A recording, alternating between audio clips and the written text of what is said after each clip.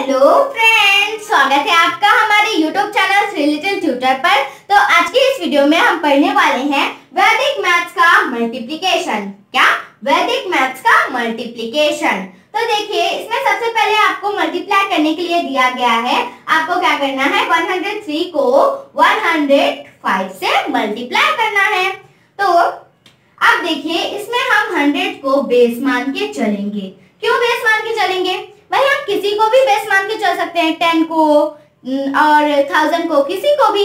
लेकिन हम ten hundred को ही बेस मान के क्यों चल रहे हैं? क्यों? क्योंकि ये हंड्रेड के ज़्यादा पास है। वन हंड्रेड थ्री हंड्रेड के ज़्यादा पास है और वन हंड्रेड फाइव भी हंड्रेड के ही ज़्यादा पास है, इसीलिए। तो अब देखिए, अब हमको क्या पता लगाना है कि वन हंड्रेड थ्री हंड्रेड से कितना ज़्यादा है। तो थ्री ज़्यादा है तो हम लिखेंगे प्लस थ्री ओके और 100 500 से कितना ज़्यादा है? तो 5 ज़्यादा है। तो हम लिखेंगे प्लस फाइव ओके तो अब हमको क्या करना है? इन दोनों को इंटू करना है। तो इन दोनों को इंटू करने पे जो भी हमारा आंसर आएगा, वो डबल डिजिट नंबर का होना चाहिए। क्यों होना चाहिए?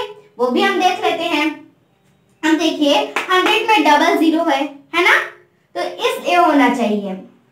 हम हंड्रेड को बेस मान के चल रहे हैं क्योंकि हंड्रेड के ज़्यादा करीब है।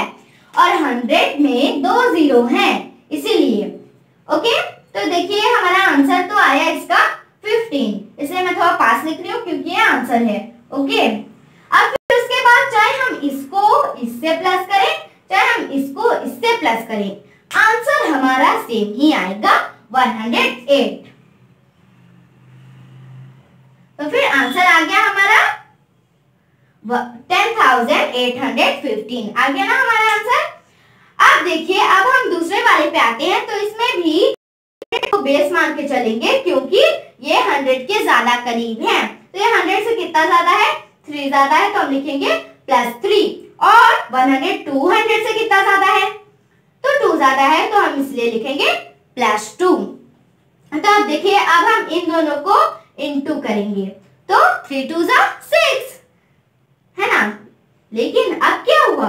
अब जैसा कि मैंने आपको उसमें बताया था डबल डिजिट नंबर आना चाहिए।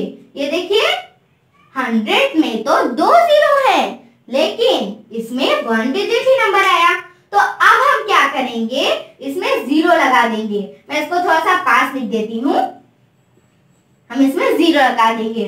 ओके जब हमारा आंसर जो आता है इन दोनों को मल्टीप्लाई करने से, जब हमारा वो करेक्ट नहीं होता, जब हमारा वो एट डिजिट का आ जाता है, तब हम क्या करते हैं? तब हम उसमें ज़ीरो ऐड कर देते हैं हम ज़ीरो लगा देते हैं।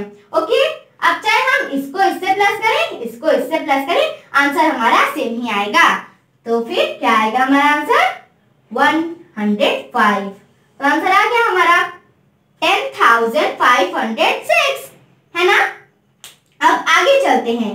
अगला वाला हमारा थोड़ा सा अलग है। उसमें क्या करना है?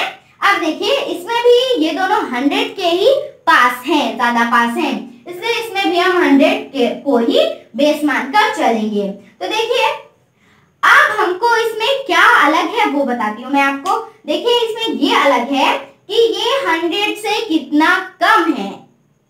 अब इसमें माइनस वाला आ गया, है ना? ये कितना कम है? तो टू कम है है ना? तो हम लिखेंगे माइनस टू अब ये 9500 से कितना कम है? 5 कम है?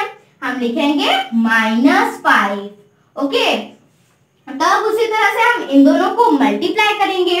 तो टू फाइव जा टेन तो मैं इधर लिखती हूँ क्योंकि आंसर है। ये टेन लिख दिया। अब अब हम चाहे इसको इससे माइनस करें, इसको इससे माइनस करें आंसर हमारा सेम ही आएगा। नाइन्टी थ्री ओके तो फिर आ गया हमारा answer nine thousand three hundred ten okay thank you मिलते हैं अगले वीडियो में कुछ नए टॉपिक के साथ। तब तक लिए बाय बाय